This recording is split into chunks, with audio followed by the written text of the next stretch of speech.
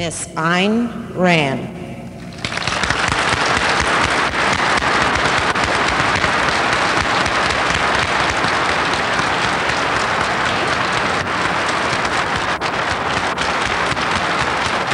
Thank you.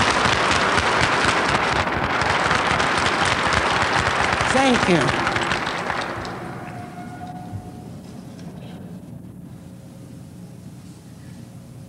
Ladies and gentlemen, since the subject of these seminars is investment, I must start by stating that I am not an economist and have no purely economic advice to give you. But what I'm anxious to discuss with you are the preconditions that make it possible for you to gain and to keep the money which you can then invest. I shall start by asking you a question on a borrowed premise. What human occupation is the most useful socially? The borrowed premise is the concept of social usefulness. It is not part of my philosophy to evaluate things by a social standard. But this is the predominant standard of value today, and sometimes it can be very enlightening to adopt the enemy's standard. So let us borrow the notion of social concern for just a little while, just long enough to answer the question, what human occupation is the most useful socially?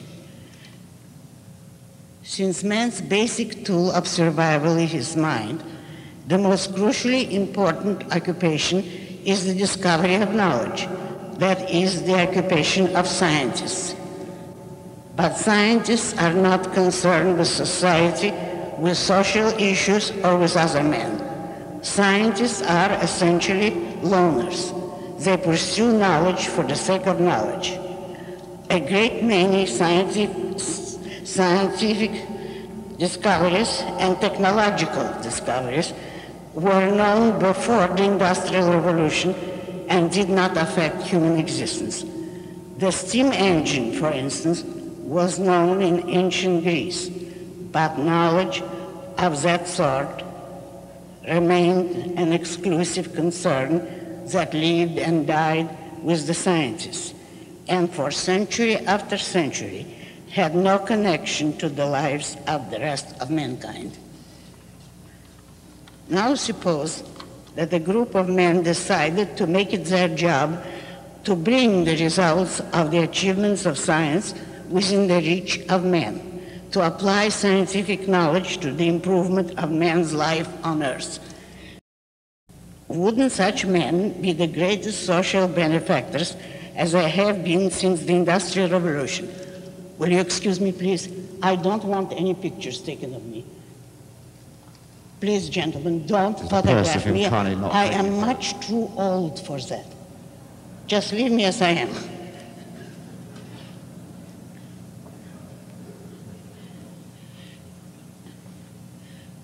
Wouldn't such men be the greatest social benefactors as they have been since the Industrial Revolution? Shouldn't the socially concerned humanitarians,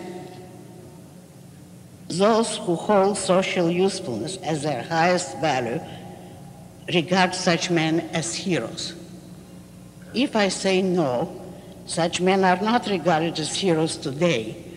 They are the most hated, blamed, denounced, men in the humanitarian society, would you believe me?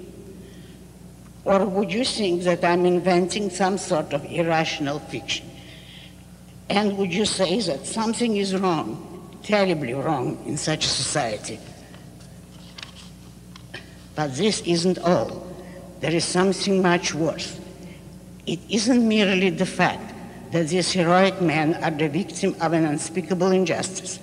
It is the fact that they are first to perpetuate that injustice against themselves, that they adopt a public stance of perpetual apology and universal appeasement, proclaiming themselves guilty of an unspecified evil, begging the forgiveness of every two-bit intellectual, every unskilled laborer, every unemployed politician. No, this is not fiction. That country is the United States of America today. That self destroying group of men is you, the American businessmen. When I say you, I mean the group as a whole. I accept the tenet that present company is accepted. However, if any of you find the shoes that fits, wear it with my compliments.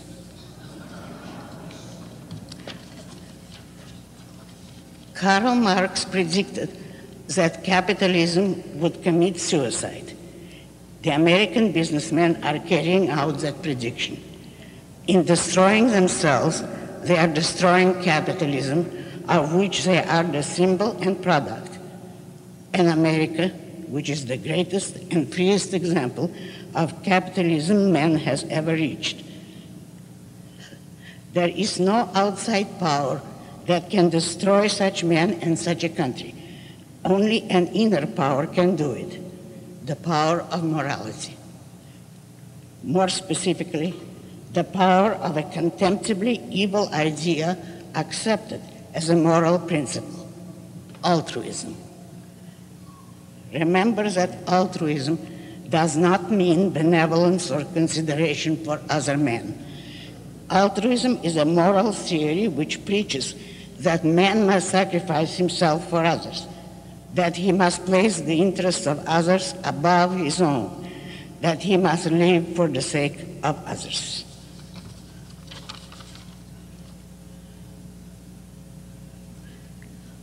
Altruism is a monstrous notion. It is the morality of cannibals devouring one another. It is, it is a theory of profound hatred for men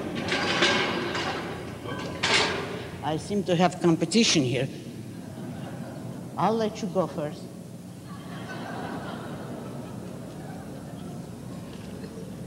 Okay? It is a theory of profound hatred for men, for reason, for achievement, for any form of human success or happiness on earth. Altruism is incompatible with capitalism and with, and with businessmen businessmen are a cheerful, benevolent, optimistic, predominantly American phenomenon.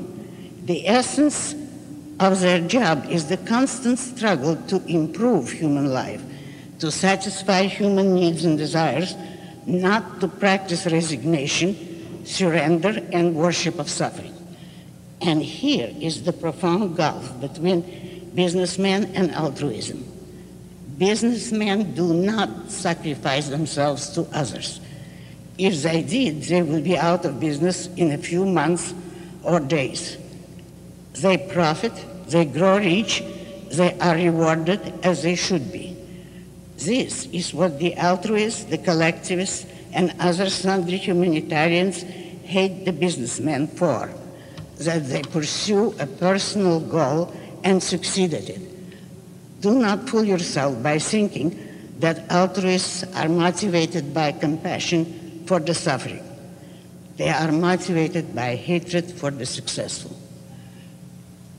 The evidence is all around us.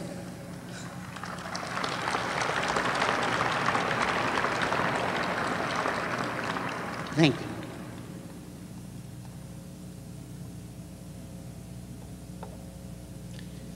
The evidence is all around us, but one small example sticks in my mind as extremely eloquent.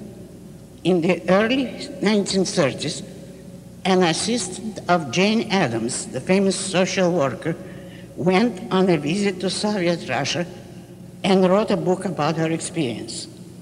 The sentence I remember is, quote, how wonderful it was to see everybody equally shabby, close quote. If you think that you should try to appease the altruist, this is what you are appeasing. The great tragedy of capitalism and of America is the fact that most businessmen have accepted the morality of altruism and are trying to live up to it, which means that they are doomed before they start. Another, contributory evil is the philosophical root of altruism, which is mysticism, the belief in the supernatural, which preaches contempt for matter, for wealth, well being, or happiness on earth. The mystics are constantly crying appeals for your pity, your compassion, your help to the less fortunate, yet they are condemning you for all the qualities of character that make you able to help them. Evil theories have to rely on evil means in order to hold their victims. Altruism and collectivism cannot appeal to human virtues. They have to appeal to human weaknesses. And where there are not enough weaknesses, they have to manufacture them. It is in the nature of uh, altruism and collectivism that the more they use, need a person or a group, the more they denounce their victims, induce guilt, and struggle never to let the victims discover their own importance and acquire self-esteem. The businessmen are needed most by the so-called humanitarians because the businessmen produce the sustenance the humanitarians are unable to produce. Doctors come next in the hierarchy of being needed and observe the hostility, the denunciations, and the attempts to enslave the doctors in today's society. Most businessmen today have accepted the feeling of guilt induced in them by the altruist. They are accused of anything and everything. For instance, ecologists denounce the businessmen for their refusal to sacrifice themselves to the snail darter and the Furbish lousewort. But the businessmen's actual guilt is their treason against themselves which is also their treason against their country. The statement that aroused such fury among the collectivists, quote, what's good for General Motors is good for the country, was true. And the reverse is also true. What's bad for industry is bad for this country. I am here to ask you a question on my own, not on borrowed premises what are you doing to the advocates of capitalism, particularly the young? Appeasement is a betrayal not only of one's own values, but of all those who share one's values. If, for whatever misguided reason, businessmen are indifferent to and ignorant of philosophy, particularly moral and political philosophy, it would be better if they kept silent rather than spread the horrible advertisements that make us cringe with embarrassment. By us, I mean advocates of capitalism. Mobil Oil ran ads in the New York Times which stated the following, I quote from memory, quote, of the expression free, private, responsible enterprise, we strike out free and private as non-essential, close quote. One of the big industries advertises on television that they are full of, quote, people working for people, close quote. And some other big company announces on television that its goal is, quote, ideas that help people, close quote. I do not know what the ghastly PR man who came up with these slogans wanted us to think, that the companies worked for free or that they traded with people rather than with animals.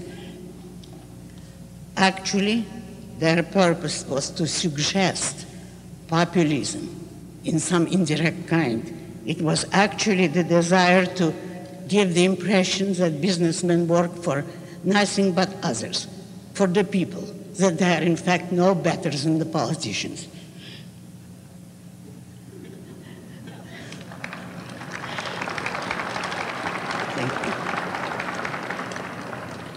The worst of the bunch is some new group in Washington, D.C. called something like Committee for the American Way, which puts out a television commercial showing some ugly, commonplace people of all kinds, each proclaiming that he likes a different kind of music.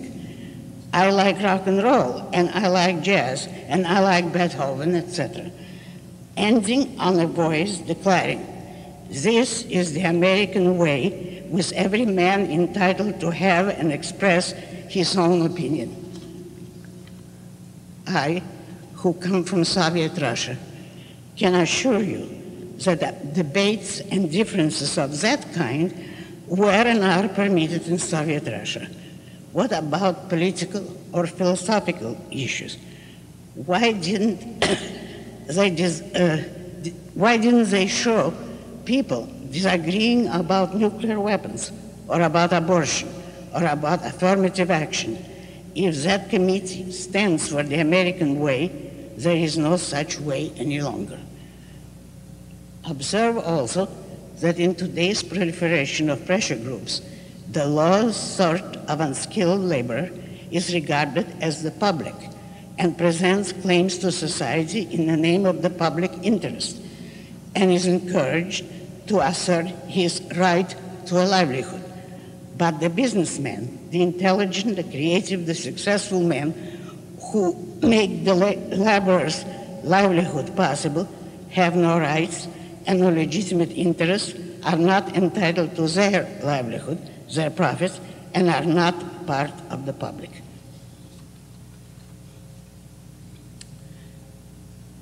Every kind of ethnic group is enormously sensitive to any slight. If one made a derogatory remark about the Kurds of Iran, dozens of voices would leap to their defense. But no one speaks out for businessmen when they are attacked and insulted by everyone as a matter of routine. What causes this overwhelming injustice? The businessmen's own policies, their betrayal of their own values, their appeasement of enemies, their compromise, all of which add up to an air of moral cowardice. Add to it the fact that businessmen are creating and supporting their own destroyers. The sources and centers of today's philosophical corruption are the universities. Businessmen are both content.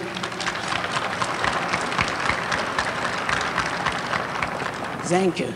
That is the most important point. Businessmen are both contemptuous of and superstitiously frightened by the subject of philosophy. There is a vicious circle involved here. Businessmen have good ground to despise philosophy as it is taught today, but it is taught that way because businessmen have abandoned the intellect to the lowest rung of the unemployables. Oh. All the conditions and ideas necessary to turn men into abjectly helpless serfs of dictatorship rule uh, the institutes of today's higher education as a tight monopoly with very few and rare exceptions. Hatred of reason and worship of blind emotions, hatred of the success and worship of self-sacrifice, uh, hatred of the individual and worship of the collective, these are the fundamental notions that dominate today's universities. This notion condition and paralyze the minds of the young. If you want to discover how a country's philosophy determines its history, I urge you to read The Ominous Parallels by Leonard Peikoff, to be published this coming spring by Stein and Day. This brilliant book presents the philosophical eh, uh, similarities between the state of America's culture today and the state of Germany's culture in the Weimar Republic in the years preceding the rise of Nazism. After you read this book, you will know the power of philosophy and you will know that one cannot play with it as irresponsibly as people do today, nor can one ignore it. It is the businessman's money that supports American universities, not merely in the form of taxes and government handouts, but much worse, in the form of voluntary private contributions donations, endowments, etc. In preparation for this lecture, I tried to do some research on the nature and amounts of such contributions. I had to give it up. It is too complex and too vast a field for the efforts of one person. To untangle it now would require a major research project and probably years of work. All I can say is only that millions and millions and millions of dollars are being donated to universities by big business enterprises every year, and that the donors have no idea what their money is being spent on or whom it is supporting. What is certain is only the fact that some of the worst anti-business, anti-capitalism propaganda has been financed by businessmen in such projects.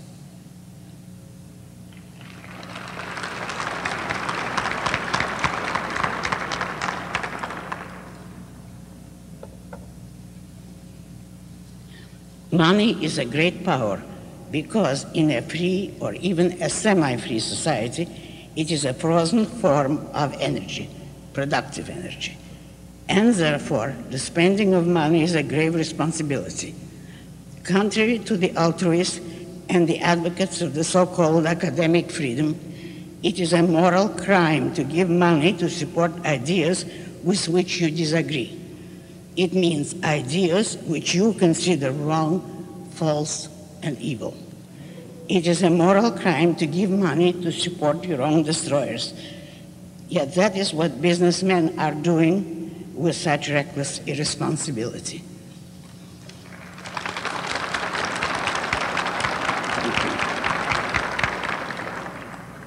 On the faculties of most colleges and universities, the advocates of reason, individualism, and capitalism are a very small minority, often represented by feeble specimen of window dressing. But the valiant minority of authentic fighters is struggling against overwhelming odds and growing very slowly. The hardships, injustices, and persecutions suffered by these young advocates of reason and capitalism are too terrible a story to be told briefly. These are the young people whom businessmen should support. Or, if businessmen are too ignorant of academic issues, they should leave academic matters alone. But to support irrationalists, nihilists, socialists, and communists who form an impenetrable barrier against the young advocates of capitalism, denying them jobs, recognition, or a mere hearing is an unforgivable outrage on the part of irresponsible businessmen who imagine that is morally safe to give money to institutions of higher learning.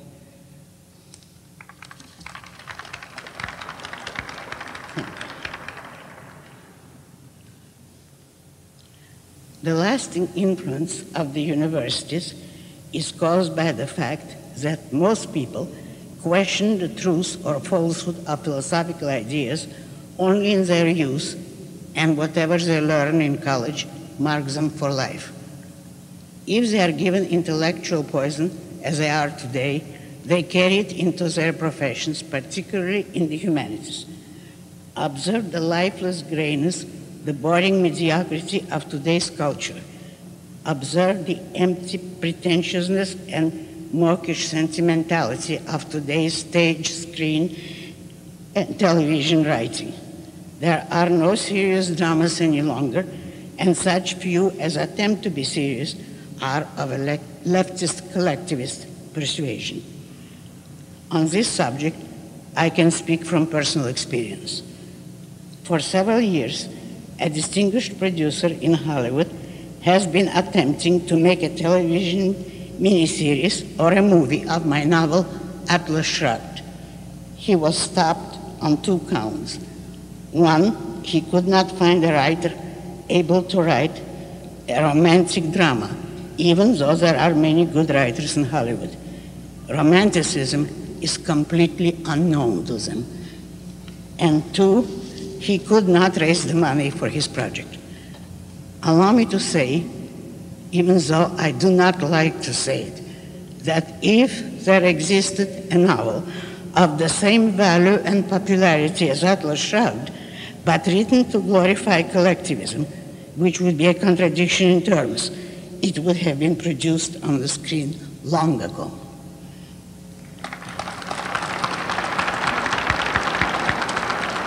You're not, I hope, applauding that fact that there are too many supporters of the left kind of writers? Well, I do not believe in giving up, and so, in answer to many questions, I chose this occasion to make a very special announcement. I am writing a nine hour teleplay for Atlas Shrugged.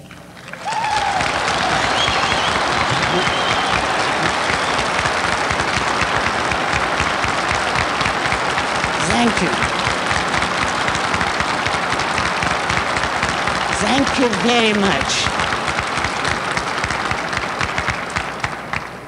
I intend to produce the miniseries myself. There is a strong possibility I will be looking for outside financing to produce the Atlas Shrugged series. I'm not afraid of that. In conclusion, let me touch briefly on another question often asked of me What do I think of President Reagan? The best answer to give would be, But I don't think of him. And the more I see, the less I think. I did not vote for him nor for anyone else, and events seem to justify me. The appalling disgrace of his administration is his connection with the so called moral majority and sundry other TV religionists. Thank you. Who are struggling, apparently with his approval, to take us back to the Middle Ages via the unconstitutional union of religion and politics. The threat to the future of capitalism is the fact that Reagan might fail so badly that he will become another ghost like Herbert Hoover, to be invoked as an example of capitalism's failure for the next 50 years. Observe Reagan's futile attempts to arouse the country by some sort of inspirational appeal. He is right in thinking that the country needs an inspirational element, but he will not find it in the God family tradition swamp. The greatest inspirational leadership this country could ever find rests in the hands of the most typically American group, the businessmen. But they could provide it only if they acquired philosophical self defense and self esteem. Here is what young Americans have to say about it. I quote from the May 15, 1980 issue of The Intellectual Activist a newsletter published by Peter Schwartz. Quote, feminists threaten to publicize the names of psychologists who hold their convention in a state which has not yet endorsed the Equal Rights Amendment.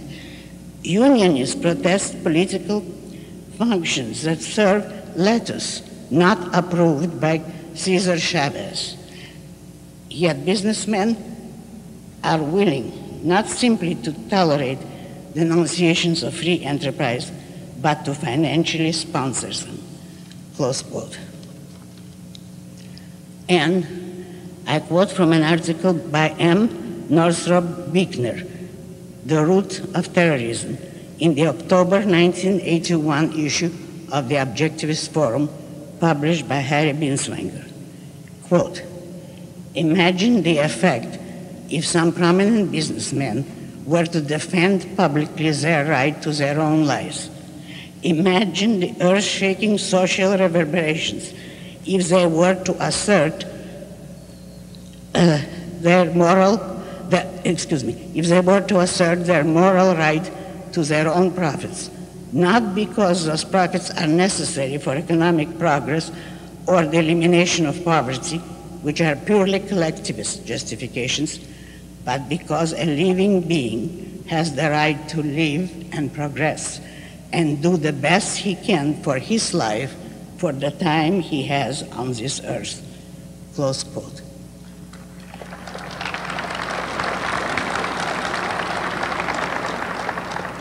I recommend both these publications very highly. You may write to the intellectual activist at 131 Fifth Avenue, New York, New York, 10003, and to the Objectivist Forum at Box 5311, New York, New York, 10150.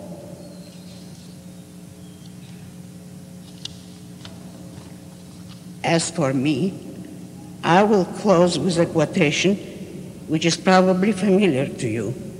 And I will say that the battle for capitalism will be won when we find a president capable of saying it. Quote, the world you desired can be won. It exists. It is real. It is possible. It's yours. But to win it requires your total dedication and a total break with the world of your past, with the doctrine that man is a sacrificial animal who exists for the pleasure of others. Fight for the value of your person. Fight for the virtue of your pride. Fight for the essence of that which is man, for his sovereign rational mind fight with the radiant certainty and the absolute rectitude of knowing that yours is the morality of life and that yours is the battle for any achievement, any value, any grandeur, any goodness, any joy that has ever existed on this earth. Close quote. Thank you.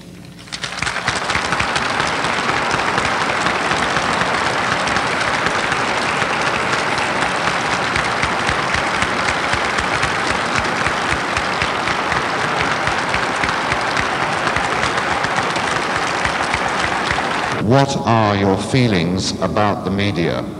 Well, I think I've indicated the media as they stand today are practically non-existent as art or even as information. They're in a terrible state. They're leaning very heavily to the left, but it is not anyone's conspiracy and it is not the fault of the individual reporters. They are practicing the only kind of philosophies they've been taught they know of nothing better. They are the conditioned robots of their college professors. But the media as such, particularly television, is the greatest invention in centuries, and it has the greatest potential. I prefer television to the large screen or any other medium of communication. And if we remain free, we will see some great things on television. Next. Yeah. Okay. The next question is, do you think that the United States should continue to sell grains, computers, and technology to the Russians? No, I don't think so. I, I don't think we should have diplomatic relations with Russia. And, you, and if we bought with them, you would be surprised what a cowardly, appeasing performance they would put up because they had done that every time they knew that the West was antagonistic. They are like bullies, and you have to deal with them very, very strongly or not at all, which incidentally Reagan is not able to do. The next question is related is Russia a real threat today? Russia as such was never a threat to anyone, even to little Finland that uh, beat Russia twice during World War II. Russia is the weakest and most impotent country on earth. If they were in a war, most of the miserable Russians would defect.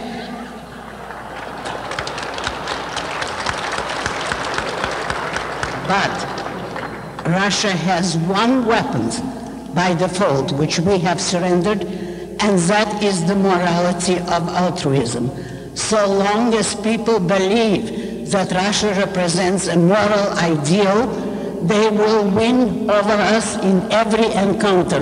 That is one of the reasons for dropping altruism totally, consciously, as the kind of evil which it really is.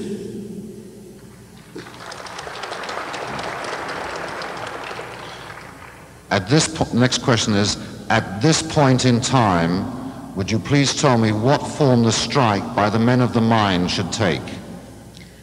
The form is learn philosophy and preach it and spread it around by every means open to you. We are not yet in the stage where we should give up the country. We are still free. And the way to fight for capitalism is to take very good care of understanding philosophy thoroughly and then spreading the right ideas as much as you can. It is only when and if a country establishes a censorship that the men of the mind should retire, but we're not in that stage and I don't think we will reach it. The next question is of a more pragmatic business nature. Where do we sign up to invest in the production company for Atlas Shrugged? and uh, Thank you very much. Please communicate with Mr. Blanchard's office. He has graciously agreed to send all such communications to me. I might add that question was from Mr. Jerome Smith and Mr. Mark Tier, two familiar names here. Would you please comment on Poland and solidarity?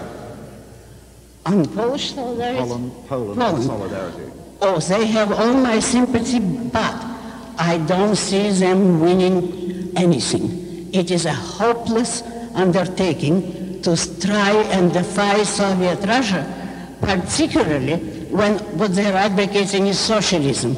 You don't find communism with socialism. They are doomed to lose. The next question is, please clarify your comment on the moral majority. I do not understand your position. I do not understand your question. if you're here at all, you must have come because you know something about me. And if you know something about me, you know that I'm an advocate of reason, that I am not a supporter of religion, and that I despise anyone who tries to impose his religious ideas by force on other people. That is what the moral majority is trying.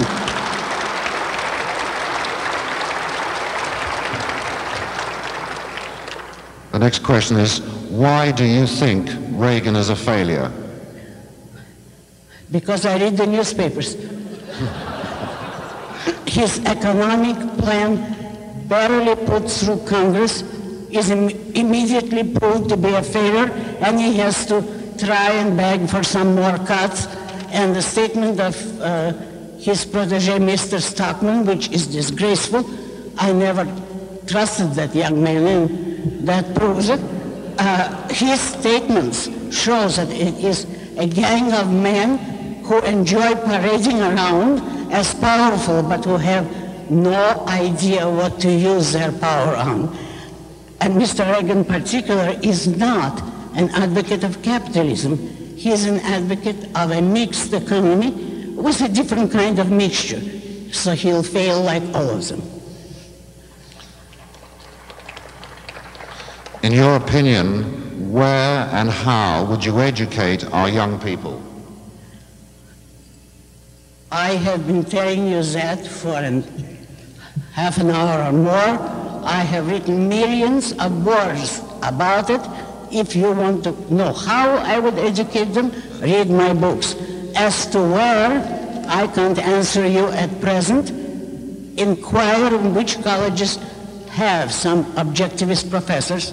Some of them have. Not many, but there are some and very good ones. Follow those courses.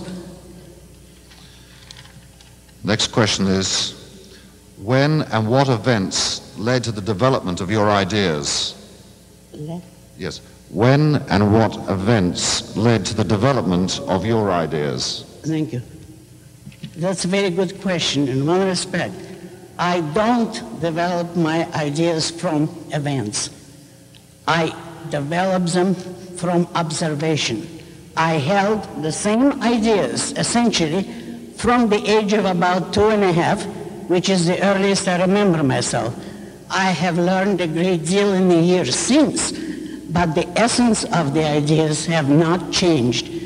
It is true that some people have to be hit over the head with events before they will connect two souls. But I showed you in Atlas Shrugged that I can predict events. I can do it because I see the essential, basic premises that dominate certain movements, and I know what the results would be.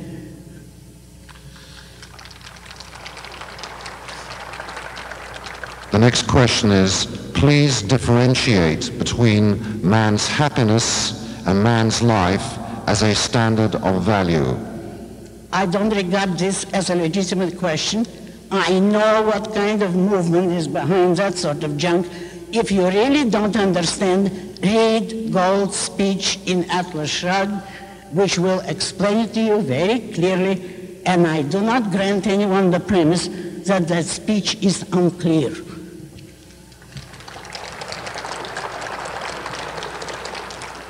Next question is, how can we teach our children not to be ashamed of success? That's a good question. Read Atlas Shrugged, read the work of other objectivists, read the proper ideas, and then learn how to communicate it to a child at the appropriate time. Uh, don't make him recite ideas which are beyond his understanding. And above all, do not teach him to be humble. Praise him when he deserves it. Permit him to be proud of his success, and that will establish the right foundation.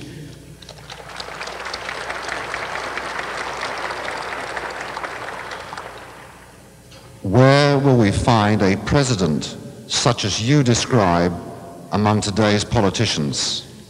I wish I knew. That's why I say it's much too early for philosophical politics. Among those in uh, power today, or even known today, I may mention one or two young ones who have not yet proved themselves, and it's much too early to recommend anyone. Next question is, what actors would you cast in Atlas Shrugged? Do I answer that? No. My advisors say no, it is actually improper to begin casting before you have finished the script and formed a company. I have some very good ideas on that subject, but it's too early to mention them publicly. Thank you. Next question is, Miss Rand, you are a woman and we have been downtrodden. Do you approve of ERA?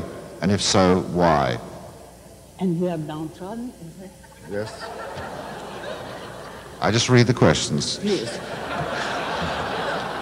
No, I don't approve the, uh, the ERA because it's a totally unnecessary, uh, repetitive uh, document which will achieve nothing but give a lot of bad female politicians a, a tool to work with and impose on the rest of us.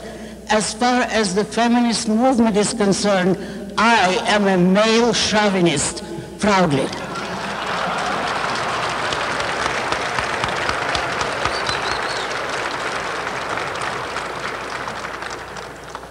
Next question is, how would you define love?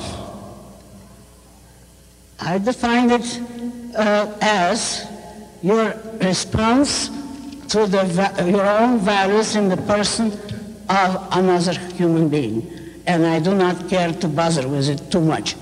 I mean with definitions, because actually my best definition of love is the love stories in my novels.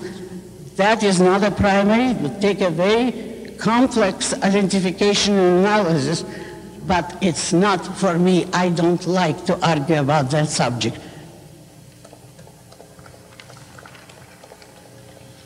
Next question is, is there still hope for salvaging our free system?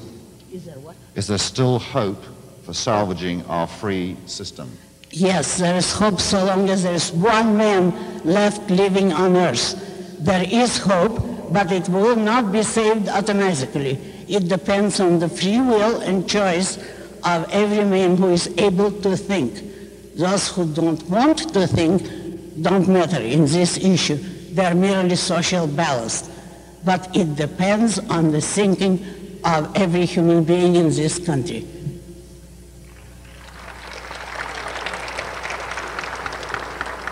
Next question is, what do you reply when someone says to you, you hate the poor and disadvantaged, don't you? Nobody has ever come close enough to me to say such a thing. I don't hate the poor. I just don't think that they're the best thing in life and that one should tailor everything for their convenience. And here I'd like to quote a very interesting person, if you've heard of him, the Reverend Ike. He is a black evangelist and a remarkable one because he preaches not suffering and submission, but success. And he tells his congregation that every man can succeed in what he understands, what he can do. Reverend Ike's statement about the poor is as follows. The best way to help the poor is not to be one of them.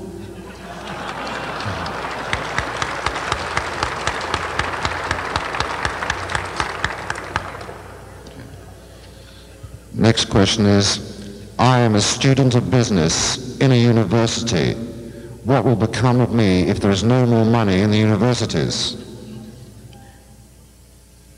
Help them to earn their money honestly. And if the left gives them money, don't go into those universities, but help the right kind of businessmen provide financial help for the right kind of universities.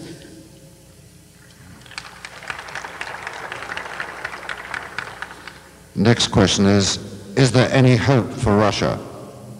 No. Next question. Since Congress has collectivized us through the Internal Revenue Service, what can be done to stop them? Is it time for another Tea Party?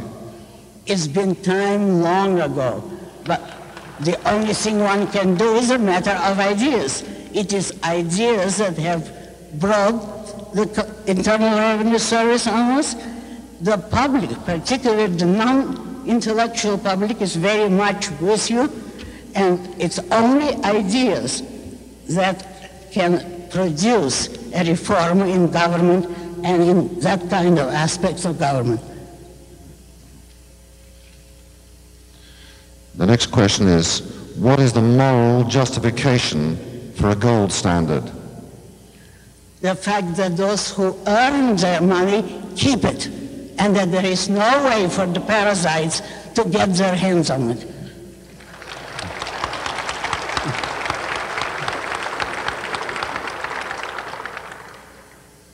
Next question is, who are some of your favorite writers of novels? My favorite writers? Victor Hugo, Dostoevsky, O. Henry. That I think is enough. Next question. Was Reagan the best choice available? No. I would have voted for Ford. He had his flaws, but he was infinitely superior to Reagan. Somebody just asked you to kindly repeat some of the names, I think addresses you mentioned in your talk. And specifically here, the question is, what was the name of the book that you suggested we read that will be published in the spring, and who was the author? The book's title is The Ominous Parallels. The author's name is Leonard Peikoff, P-E-I-K-O-F-F. He is a brilliant professor of philosophy, and it is the best book omitting present company that is coming out today. If you like my books, you will like this one. Next question is, how specifically is Reagan's conservative, pro-capitalist government helping destroy capitalism to try to stay in power? To do what To try to stay in power. Ah. For one thing, you cannot stand in power today nor do anything politically without a well-formulated, consistent political philosophy, because it is by philosophical means that the collectivists have come to power, and you can't def- defeat them except by philosophical means.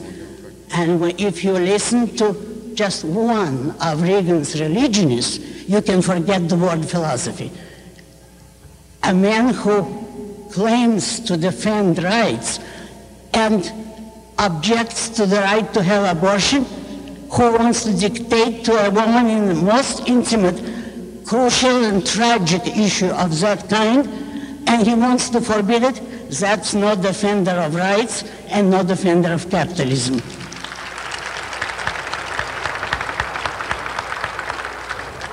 I think this would now have to be the, the final question. Right. Uh, are there any new books forthcoming? We'd love to know. New books by objectivists?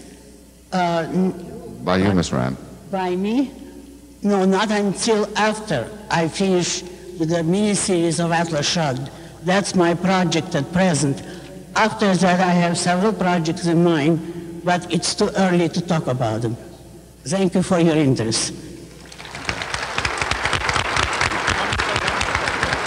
We have, oh, he's gone. We have one more question.